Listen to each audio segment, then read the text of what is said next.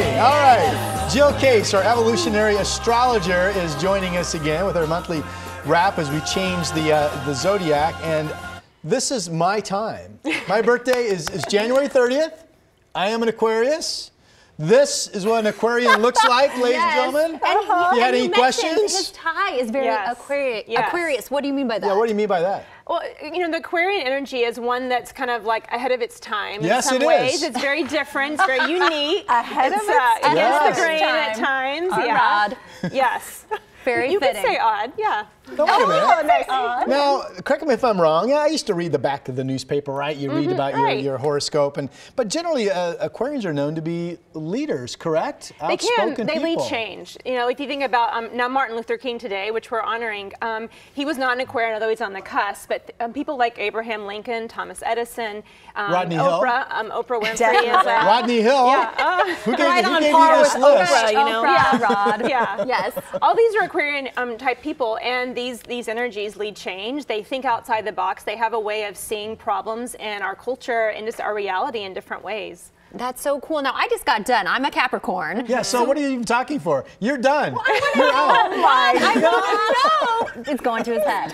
What can we take with us from Capricorn to kind of break Yeah. free when we move on to the season of Rod, as he would say? The season of Rod. yeah, the season of Rod. I like getting that. out of control. We redefine this.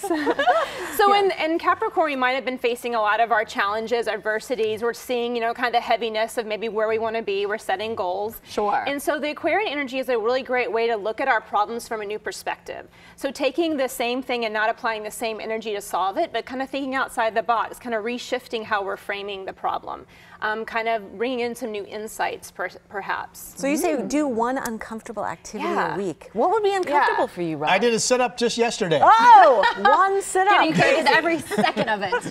what do you kind of mean by that? So you could even drive a different way to work. Notice what you see on this new way to work. Notice what bumper stickers Is you that because they're set in their ways? Yeah, sometimes when you're set in your ways and you see the same things, you tend to look at minute. everything the same way.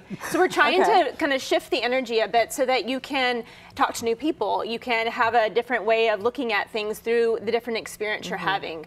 Um, so sometimes just interrupting the patterns are a great way to think outside the box and kind of interrupt the, the normal The way. norm. Because Capricorn's very consistent, right? Right. Does the same thing over and over again because it works. Boring. But if Right. it's not really That's working, we have to change it up. Right? Yeah, okay. Well, who's a good match for Aquarius? We, you know, it really depends because uh, we're only talking about like the sun sign right now, which is one time. But really, you know, Aquarians like a lot of different things. They like diversity. So there's not just one, right? Because Yes. there's going to be a lot Tacos of benefit to a lot chicken. of different things. I knew you were going to say fried chicken. fried chicken. But but seriously, it's it's a time where I should really grasp this uh, period of weeks and, and kind of focus on my inner thoughts, on my inner energy. Correct?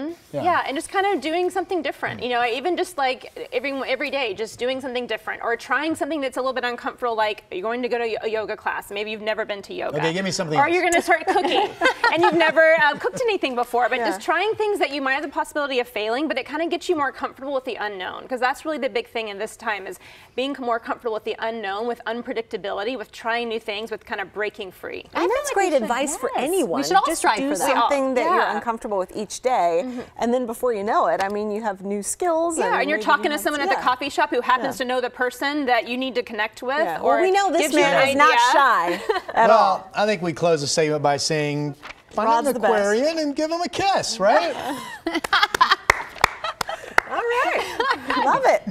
love this little guy. It's the month of Ron. It's the month of Ron. Just be like Ron. Yes. Just be like Ron. We'll be right back.